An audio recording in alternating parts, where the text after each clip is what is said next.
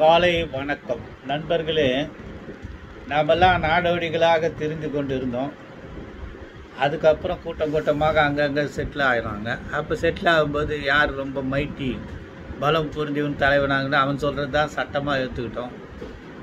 அதுக்கப்புறம் என்ன ஆச்சுன்னா கொஞ்சம் கொஞ்சமாக நாகரிகம் வளர வளர நகரங்கள் தோன்றுச்சு. ராஜா ஒருத்தர் நம்மள ராஜா சுல்தான் பாத்ஷா ஏதோ ஒன்று பேர் போட்டு அவங்க தோன்றார் அவர் வந்து ரா- தன்னை வந்து ராஜாவினுடைய இது கடவுளுடைய பிரதிநிதின்னு சொல்லி அவர் சொல்கிறது தான் சட்டமாக அவர் வச்சுருந்தாரு.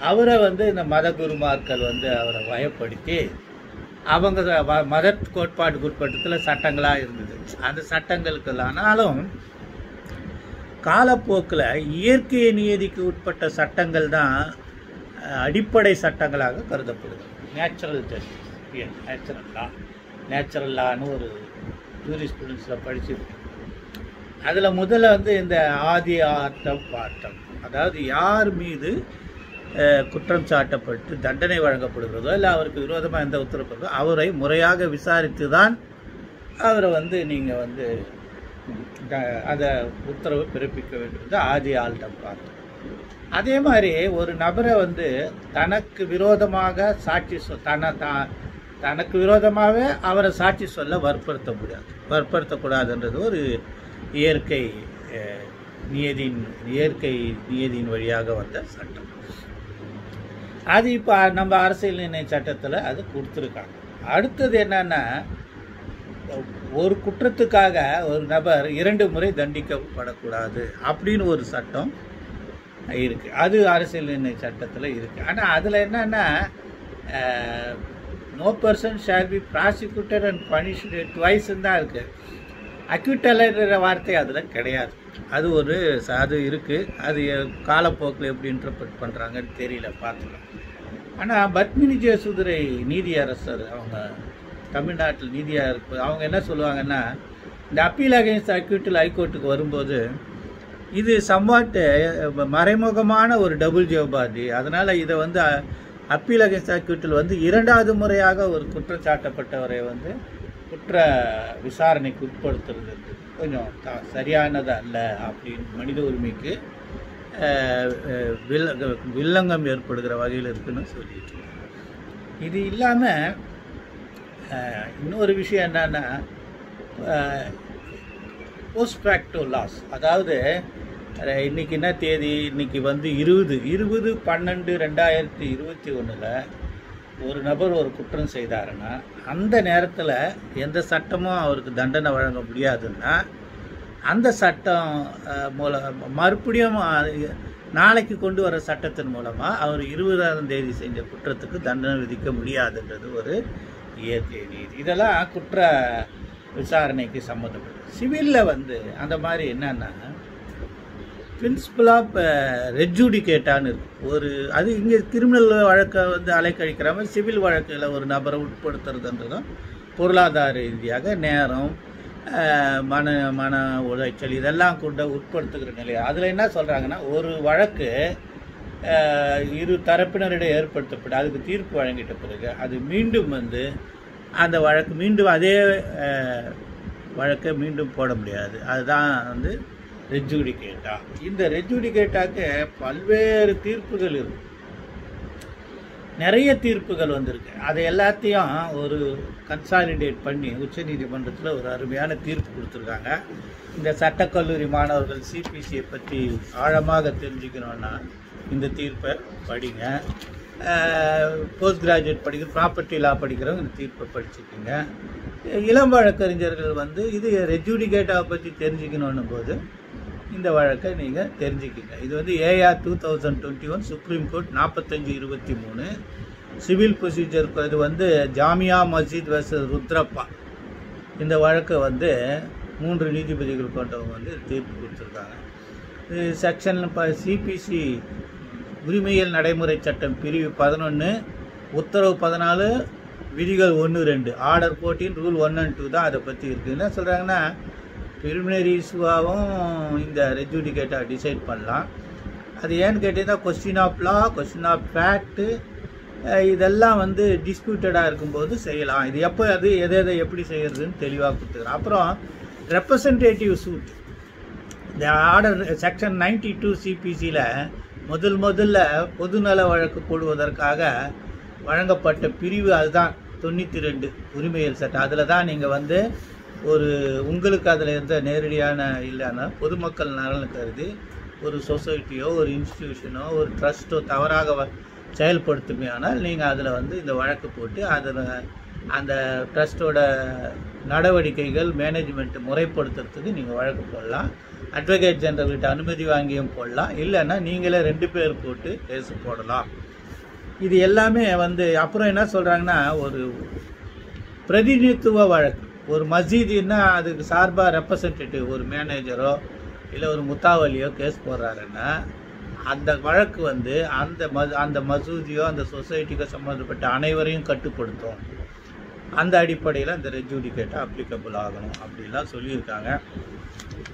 டைட்டிலில் டிசைட் பண்ணாத ஒரு சூட்டு போட்டிருக்காங்க. அதுக்கப்புறம் இன்ஜெக்ஷன் சூட்டு போடலான்னா அது போடலான்னு சொல்லியிருக்காங்க. இது எல்லாத்தையும் டீட்டெயிலாக கடைசி பேராக கடைசி பேராக நான் ஐம்பத்தி ரெண்டில் வந்து பத்தி பத்தியாக எதை அது எப்படி எப்படி ரெஜூடிகேட்டாக வரும். ஸோ இந்த ஜட்ஜ்மெண்ட்டை வச்சுக்கிட்டு நீங்கள் ரெஜூடிகேட்டாக வந்து அப்ளிகபிள் பண்ணலாம். இருந்தாலும் அங்கேயும் கொஞ்சம் ஃபீல்டு வந்து லெஃப்ட் ஓப்பன் தான். என்ன இது வந்து நான் இதை போட்டு காட்டணுமா? காட்டில் இது காட்டிடுறேன். எல்லாத்தையும் இது கொஞ்சம் தெளிவாக இருக்கும். அதனால் அப்பவும் திறமைகள். அதுதான் வழக்கறிஞர்களுடைய திறமை. இது நிறைய இருக்கு. இது வரைக்கும் பார்த்துக்குங்க.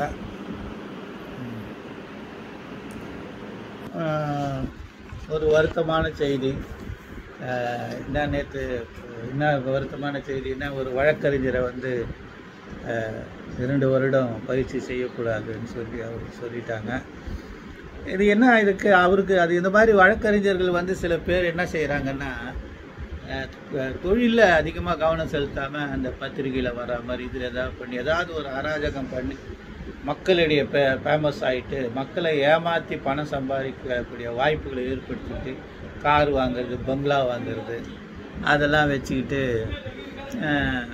நம்ம வந்து இது பண்ணலாம். ஆனால் நீங்கள் அதை வந்து குறுகிய பணம் சம்பாதிக்க முடியுமே தவிர அதே நேரத்தில் வந்து நாம் எங்கே இருக்கோம்? நம்ம வந்து இந்த நீதித்துறை என்பது ஒரு சாங்டம் ஒரு புனிதமான இடம். அந்த புனிதமான இடத்தை வச்சு தான் நமக்கு மதிப்பு கொடுக்குறாங்க.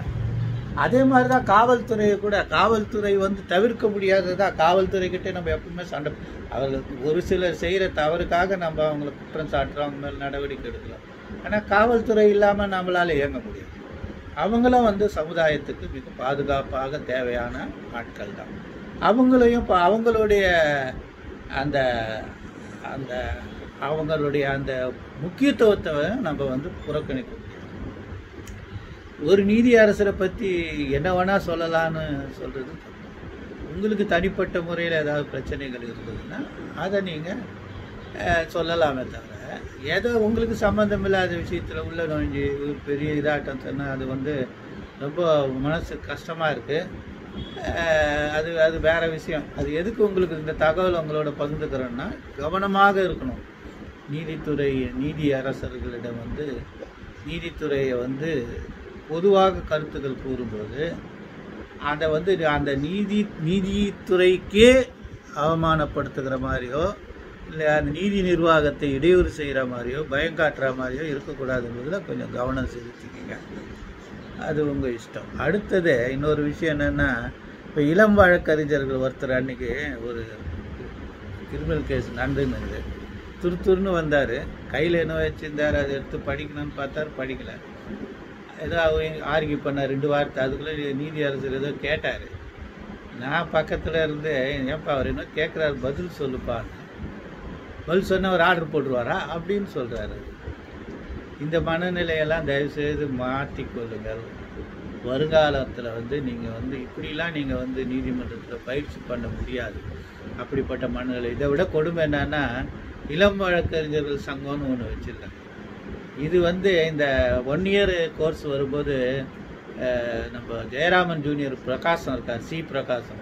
அவர் கூட ஒரு இது மாதிரி ஒரு சங்கம் வச்சாங்க. அப்போ அவங்களுக்கு தேவைப்பட்டது. ஆனால் இப்போ இது வந்து இந்த சங்கம் வந்து நீதி அரசர்கள் அமர்வு நீதிமன்றம் ஜஸ்டிஸ் கிருபாகரன் அவர்களுடைய தீர்ப்புக்கு விரோதமாக அதை எப்படியாவது கெட் ஓவர் பண்ணுன்ட்டு ஏதோ ஒரு திருவிளையாடலாக இது செய்கிறாங்க நீங்கள் செய்யுங்க நான் வேணான்னு சொல்ல ஆனால் அதே நேரத்தில் அந்த நீங்கள் செய்கிற அந்த செயல்பாடுகளால் உங்கள் உங்கள் உறுப்பினர்கள் யாரும் உறுப்பினர்கள் கிடையாது பேர் கொடுத்தவங்க தான். உறுப்பினரும் கிடையாது சந்தாவும் கிடையாது யார்கிட்ட பணம் இருக்கோ யார் எப்படி பண்ணாங்களோ தெரியல. அதை வந்து நீங்கள் கொஞ்சம் மூத்த வழக்கறிஞர்கள் வழிகாட்டுகள் இல்லாமல் நீங்கள் தவறான நடவடிக்கைகளில் ஈடுபட்டீங்கன்னா அது உங்களை ரொம்ப அதிகமாக பாதிக்கும். ஆனால் நீங்கள் உங்கள் முயற்சி சங்கம் வைத்துக்கொள்வது வந்து ஆர்டிக்கல் நைன்டீனில் உரிமை கொடுக்கப்பட்டிருக்கு இல்லைன்னு சொல்ல. ஆனால் இந்த சங்கங்கள் நீதித்துறையினுடைய நிர்வாக நீதி நிர்வாகத்துக்கு இடையூறு செய்யாமல் பார்த்துக்குங்க. பயிற்சிகள் செய்யுங்க நல்லா பண்ணுங்க. அது வந்து கரெக்டாக இருக்கும். அவ்வளோதான் இதுக்கு மேலே நான் என்ன சொல்ல முடியும்? காலை வணக்கம். நன்றி.